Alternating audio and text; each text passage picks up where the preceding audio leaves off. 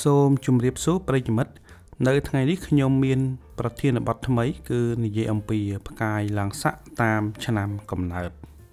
បើសិនជាផ្កាយនោះជាធាតុដែលយើងត្រូវការនោះយើងនឹងឆាប់បានឡើងឋានៈឬក៏ឡើងមុខតំណែងហើយនឹងបានទទួលនៅជោគជ័យផងដែរ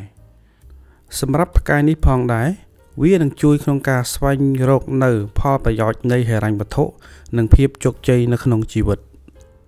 ហើយសម្រាប់បុគ្គលណាដែលមានផ្កាយនេះនៅក្នុងតួរិស័យគឺជាមនុស្សដែលមានភាពតាក់ទាញពីមនុស្សផ្ទុយភេទអញ្ចឹងដើម្បីឲ្យដឹងថាតើបងប្អូនមានផ្កាយនេះនៅក្នុងតួរិស័យឬអត់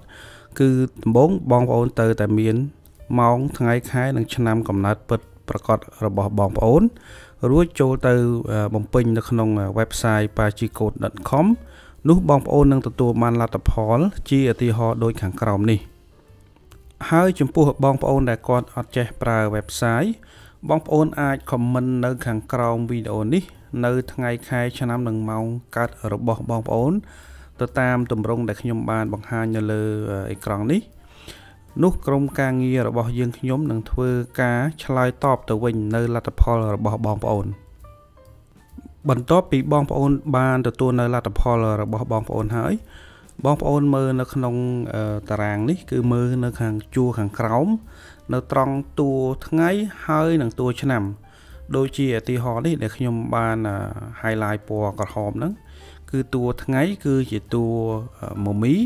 ហើយចំណែកឯតួឆ្នាំ គឺជាតួជូតបន្ទាប់ពីបងប្អូនបានកត់ត្រារួចហើយបងប្អូនចាំផ្ទៀងផ្ទាត់ជាមួយខ្ញុំដូចតទៅ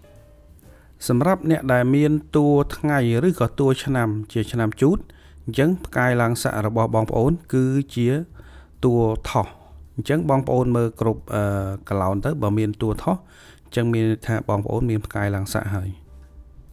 មុននឹងទស្សនាបន្តទៀតសូមលោកអ្នក Subscribe Like និងដាក់រូបកណ្ដឹងផងបាទសូមអរគុណសម្រាប់អ្នកដែលមានតួថ្ងៃឆ្លូវឬក៏តួឆ្នាំឆ្លូវអញ្ចឹងផ្កាយឡើងស័កគឺជាតួខាល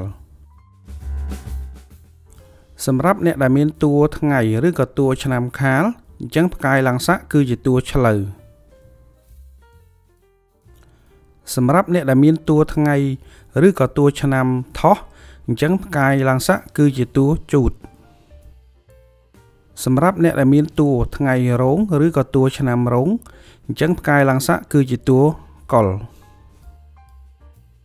សម្រាប់អ្នកដែលមានតួថ្ងៃឬក៏តួឆ្នាំម្សាញ់ ផ្កាយឡើងស័កគឺជាតួចអ្នកដែលមានតួថ្ងៃឬក៏តួឆ្នាំមមីផ្កាយឡើងស័កគឺជាតួរកា សម្រាប់អ្នកដែលមានតួថ្ងៃឬក៏តួឆ្នាំមម៉ែផ្កាយឡើងស័កគឺជាតួវោកសម្រាប់អ្នកដែលមានតួថ្ងៃឬក៏តួឆ្នាំវោកផ្កាយឡើងស័កគឺជាតួមម៉ែសម្រាប់អ្នកដែលមានតួថ្ងៃតួឆ្នាំ ជា